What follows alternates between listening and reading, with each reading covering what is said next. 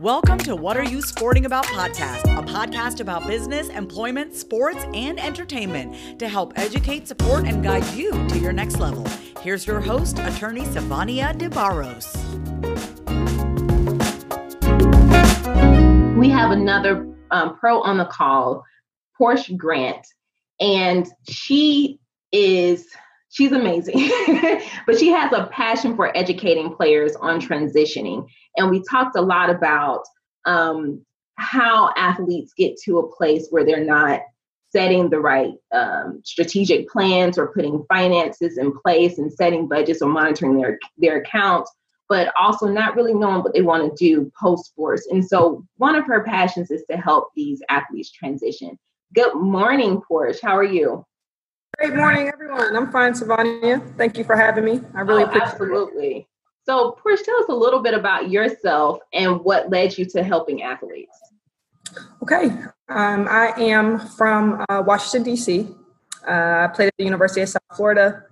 Uh, got into sports late, stayed in sports a long time, had some ups and downs, rounds and rounds, figured out what works for me, and I similar to what you said, my purpose, I found my purpose to be to help people figure out what works for them from a professional standpoint.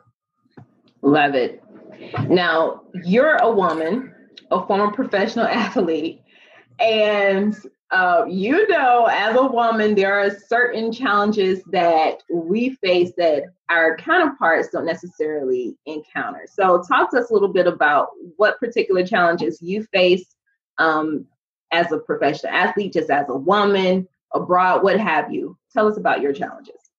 And I do apologize for any background noise. I am in a hotel. It's okay. Um, but uh, one thing, I, I, did play overseas. So unfortunately, I never got an opportunity to play in the WNBA, or I didn't take the opportunity when I had it. Um, but one thing that was hard was being a mom uh, and a professional athlete at the same time and being away from my kid. Uh, anyone with a young child between the ages of zero to six months, zero to two years old, you know, being away from your children is a uh, burden within itself. Uh, just being away from family from the young age of 12 to 13 all the way up until the age of 22 23 years old you know really not being home for holidays not being able to see nieces and nephews be born you know when mom is sick not being able to go visit the hospital we most people take things like this for granted and mm-hmm. i know not unique to this experience. Otis and Lorente, you too probably have experienced this, but that's something that's very hard because you can't get that time back. You right. know, um, so when you do fly into town for 24 hours or 48 hours, and you try to squeeze everyone in, and people yeah. just say, oh, "You never get to see me when you're home," or "You, you never come." It's like, listen, I'm, I'm doing the best I can. Right. Right. um, right. Uh, another challenge while playing pro, um, since I was playing overseas, uh, was adjusting to the game. The rules are different there. Uh, everyone doesn't know you, right? Some countries they love Americans. Some countries they don't. Right. Just, sometimes you're David. Other times right. you're Goliath. Right. Right. And uh, one thing I thought I was maybe going to hear this from uh, Lorente or Otis. Uh, one of the obstacles I had was the agent that I selected first when I went pro. I inherited an agent from one of my teammates who did very well. She played at the University of Virginia. She also uh, was drafted into the WNBA, was a second draft pick uh, in 2010. And, you know, we played AAU together, and her agent was a big time agent. He did a bunch of WNBA players, this, that, and the third. And although I was good, um, he really didn't care about me. I wasn't a big fish. So, being a small fish, just like with anything else, if I'm not bringing you $500,000 contracts or $250,000 contracts, my needs and my wants or my goals won't be a priority to you. So I had a that with my first agent had I played in, um, and then I found another agent. Um, similar to when you're signing a national letter of intent or when you commit to a university, uh, sometimes we care about the name on the front of the jersey more than we do than the name on the back of the jersey, which is good from from a certain standpoint. But you want to go somewhere where you can make a difference when you're going to college. Mm-hmm. And who, when you're an agent, who's going to work for you and don't think that you're just on their roster. Right. You know, and I've I've heard somewhat of the same type of um, conversation or issue from a former NFLer about the agent. And this particular young man, I think he actually held a few NCAA titles, but his agent just did not didn't work for him, didn't do anything for him. But moving back to you, um, you talked about this agent not really working on your behalf because you weren't technically the big fish. And as a woman, which is something I, as women, we are somewhat kind of climbing that ladder, um, decimating the glass ceiling, so to speak. But there still is a huge financial gap between women that are doing the same things as men, whether it's sports or in business. So, like, tell me a little bit about your just your experience with um, any financial challenges or not feeling like you were paid um, properly as a professional basketball player because I, I do know the rules abroad are completely different. And i've heard professional basketball players talk about how they had to fight for their money. You know once they they've actually played they've shown up they they've done what's been required of them but they couldn't get paid. Well i can say this. As far as uh, finances go I, I consider myself a professional and everyone I've come across professional enough to where we value uh, uh, privacy with your financial stuff. So I don't tell people besides my agent, my mom, right. what my contracts were. Right. Okay. Well, um, I was doing well. If I wasn't, then you know, no, no one knew. Um, okay. The not being paid when you're overseas, uh, I actually did experience that when I played in Greece. It was during the recession when Greece kind of did was doing really bad uh, Mm-hmm. And you know, it sucks. And it wasn't just women; it was okay. and and everyone. So as far as the disparity with how much you get paid is very real. Uh, you know, ticket sales and things like that. You know, you mm-hmm. get off of what you generate, but when players aren't getting paid, it's a dogfight. And yeah. It's, and it's it's there's no gender attached to it. Um, but I, I, can't really speak on pay more than the next player because yeah. I worry about my grass. I try to not business that, that pays me. I understand that. Um, you mentioned that you didn't take an opportunity with the WNBA when you had it. So I want to hear a little bit about that. And I want you to talk about this new pay increase that the WNBA has now with their new CBA. So talk to me about this opportunity that you didn't take. Well, um, the opportunity I didn't take um, when I was at USF, we won. We didn't win an NCAA title, but we did win a national championship at the University of Kansas. We beat the Jayhawks. Um, and I don't know if you know, but I had my son while I was in college, so I did a fifth year. And um, I was actually on the draft boards to get drafted second round, which isn't the best, but it's not the worst. Mm-hmm. Um, foolishly, I was in love with a man who uh, asked me to stay with him overseas uh, during the summer months because the WNBA season is during the summer months mm-hmm. and the is during the rest of the year. And so, you know, being in love and trying to respect my man, I said, okay, I won't enter the draft. And I advise everyone to not make that decision. Mm-hmm. in you know so that's that's how the opportunity got turned down. Uh, and i something i do regret but yes ma'am. As far as the pay increase uh, i think that it's very much deserved well deserved. Um, i think they should do another one. I don't I think so too. in and out um, for the collective bargaining agreement for the WNBA, but this is something that has been warranted for the past 10 to 15 years. Um, I think that female athletes that played at the WNBA, especially when Sheryl Swoopes and Lisa Leslie and mm-hmm. I think they should get back pay, even though they probably right. made a lot of reparations. money. yeah, reparations. Um, even though they did probably make a ton of money uh, based off of endorsements and things like that. Um, that's where the female athlete or the pro athlete for women really the hustle really is to see yeah. where those endorsements can come from. And that's not just for female athletes, but, you know, bring in womanhood, whether it's, you know, doesn't matter gender, sex, preference, or anything, but how do we get women to really uh, be women without marginalizing themselves can help uh, really gain more endorsements, get more fans, generate yeah. sales, and so on. Yeah. And so I agree. You know, women, we are the creator of all things. That's how I look at it. And I'm sorry, I may be a little biased because I'm a woman, but we are. I mean, we birth the people who create other things as well. Even if we are not technically creators of products or services, we have birthed the people who are providing these things to other individuals. And um, it does sadden me that sometimes we get the short end of the stick um, in different areas of life. But we are doing so much and we're making so much progress in all types of areas to you know have our voices heard and to support other people and to give other women a platform where their voices can be heard where their services that they offer can be shared.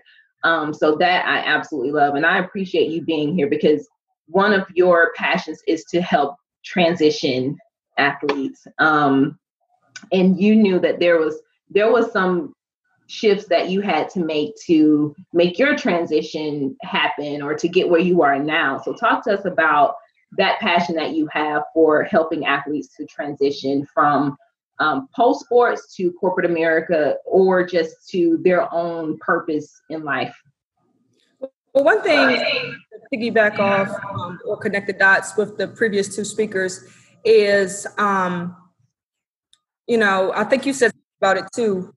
Uh, my freshman year of college, I had a teammate. Her name was Tristan Webb. She was a sixth, maybe even a seventh year senior. She had about six knee surgeries. She was around. She was the old head on the team. Um, and I found some things difficult. There was a six, seven girl there who I would bust her behind day in and day out. But since she was six, seven and all this, you know, for the first half of the season, she would get all this recognition and praise. And one day I just was in practice, just not really participating. She was like, You listen to me, young blood. You don't let anybody take away anything from you that they didn't give to you. So if your love for the game did not start here at South Florida, it shouldn't disappear here in South Florida. So right. that was a little off topic, but I just wanted to provide that because that's what that's something that's helped me even until now because it's bigger than basketball, kind of like what Otis said. Um, mm-hmm. Um, but my passion for helping uh, student athletes stems from the lack of care or priority for our future. Um, back in the day, the NCAA now does focus more on after the sport, which is a great thing. Um, but you know, the lack of allowing us to work or, or get a job and giving us uh, pennies to uh, live during the summer or, you know, to live during the year. You know, if you came from a two parent household, you probably didn't get a Pell Grant because your parents made too much, right? Um, to now, you know, people can get paid for their likeness. And then, right. Um, sorry if I'm going off on a tangent. Oh, no, you're fine. I love it. when I was in school, I was always one of the ones who had all the recruits. Even when I played pro and I still lived in Tampa, PG, can you come by campus? So sometimes uh, God, I'm not sure if I hope I'm not offending anyone. Sometimes God has a weird way or a funny way of showing you what you should be doing. Right? So if I'm showing people for four or five years why they should come here, why they belong here, right? it's something that I'm good at. And showing people, young people, sometimes not even athletes, uh, what they're good at, or labeling in their minds what companies label as a skill or a transferable skill. That's something that I enjoy doing. If you're a captain of a team, you're a leader. Right. lead on the court, I can lead off the court. If I can round up 100 troops in the military, I can monitor or make sure 100 employees are okay. Right. And sometimes uh, I help people build their resumes and stuff like that. Now they're like, I don't, I haven't worked anywhere. I haven't done this. And it's like, no, I think you and I have had this conversation before. Yeah. Been doing this for 12 years. been punctual. right. You've been doing peak performance activities, um, and the list can just go on. So, uh, right now, I try to reach out to as many student athletes that I still have the bandwidth to keep in touch with to say, hey, you know, if you want an internship with my current company, they do seasonal this. You know, early exposure is everything. Mm-hmm. Mm-hmm. You have conversations when you're getting recruited. Ask the right questions. Right. Set yourself up to stay in the driver's seat because sometimes, as kids or when we were young kids, we were so, oh, I got to get a scholarship. I don't want my parents to pay for school. That's great. But guess what? You're so good. You're so talented. They need you more than you need them in a sense. Right. Understanding the value of reciprocity mm-hmm. as an athlete is very important. Mm-hmm. Use you. Use them too. Right. Get out of it what you want to get out of it. Right. If you expect to get your master's paid for while you're still in school, hey, listen, if I finish my degree in three years, I expect to have my master's or start grad school. Right. Uh, be assertive, be upfront. Um, sorry if I'm getting. Oh no no no! Look, I need you to I need you to keep speaking because this is like you are you are dropping gems, of course. Um, and this whole reciprocity and being in the driver's seat is so important. I've heard people say over and over again, get stay ready so you don't have to get ready. But I think, and I'm just speaking from my own experience, coming from and being a part of the African American Brown community, um, we're we're always taught to, hey, make sure you know you do what is necessary so you may get the opportunity. But we don't see it as um, a way for us to say and reflect on how great we are you know in our own right. We don't we don't see that in us. We're just like okay i hope i'm doing enough so that they will notice me. But we don't even notice our own greatness. And so when you're asking for something you also have you know you have something to give as well that they need. And we're all so different right we're we may not always drive together. Some company you know may not be a good fit but there is something else out there that works very well with you. You may need them to move forward but they actually may need you more than you need them. So Absolutely. i absolutely love this conversation Porche. Um, the things that you're saying are is is very much needed.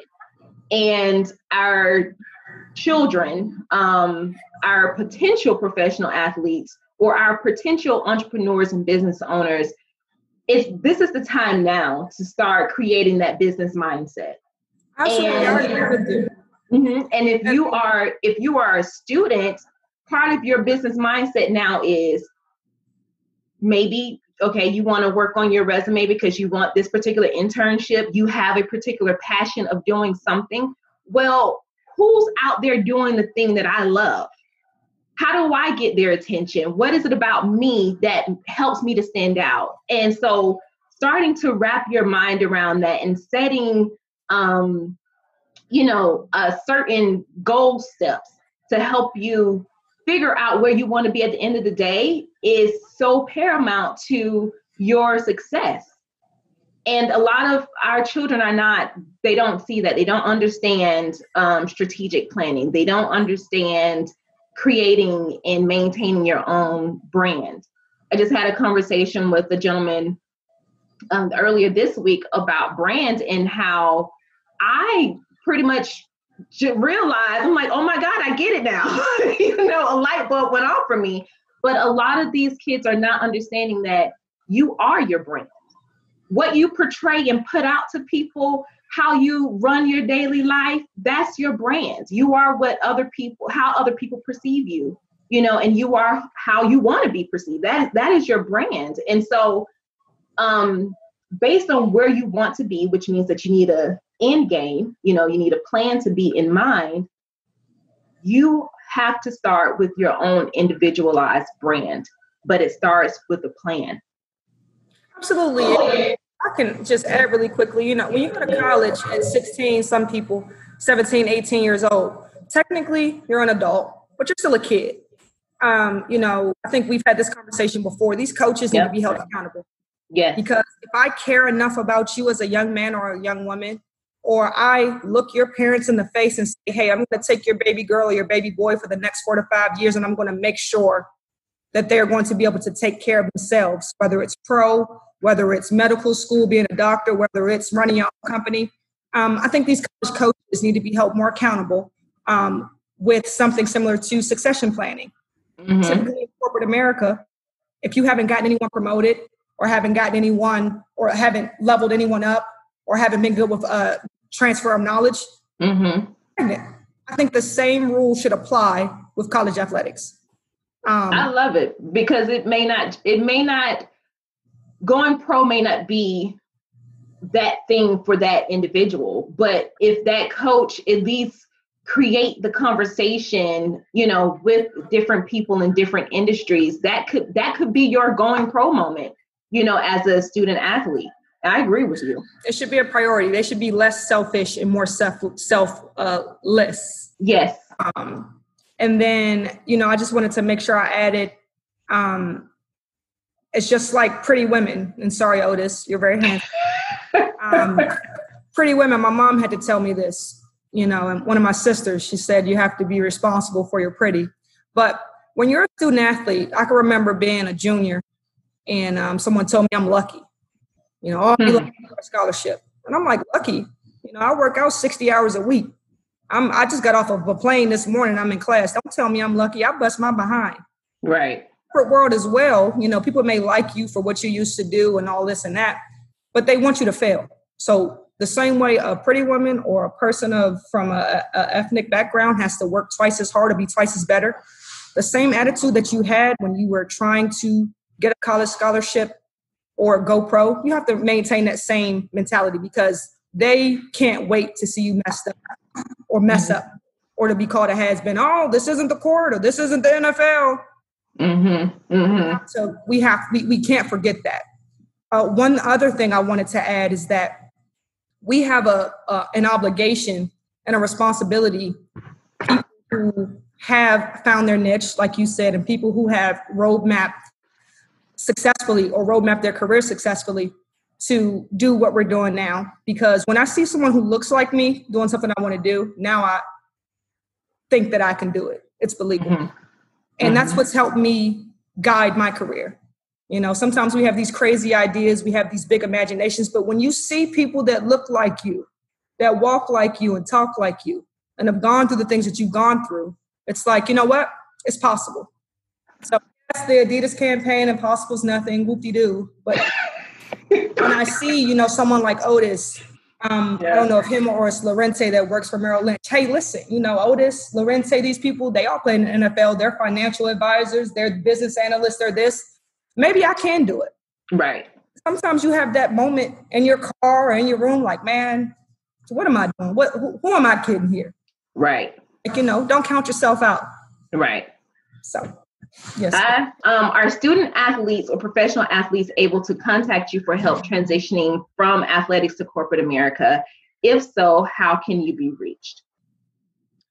Well, um, yes, uh, they can reach out to me. It's funny, about two weeks ago, Sivonnia and I were having this discussion. She actually owns her own law firm. So we've been talking about ways to launch a consulting for student athletes who want to get into corporate America or who want or who want to and are brave enough to take that step to say, you know what, I'm putting the ball down and I want to I, I want to make my life better. I want to turn the page. Yes. Uh, for now, if someone wants to reach out to me, they can uh, send me an email at Porche underscore grant at yahoo.com.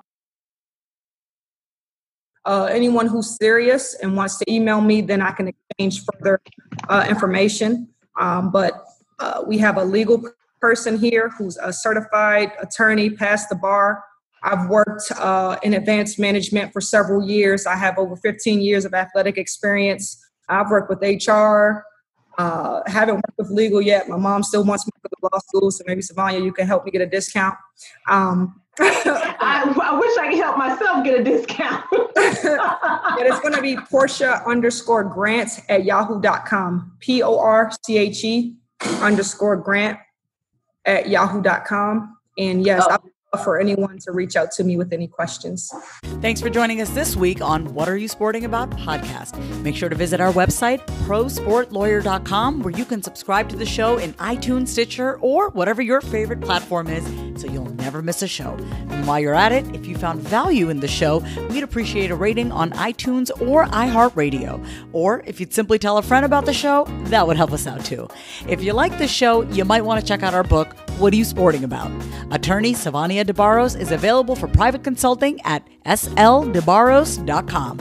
And remember, we're here to educate, support, and guide you in your journey to success because we're all sporting about something.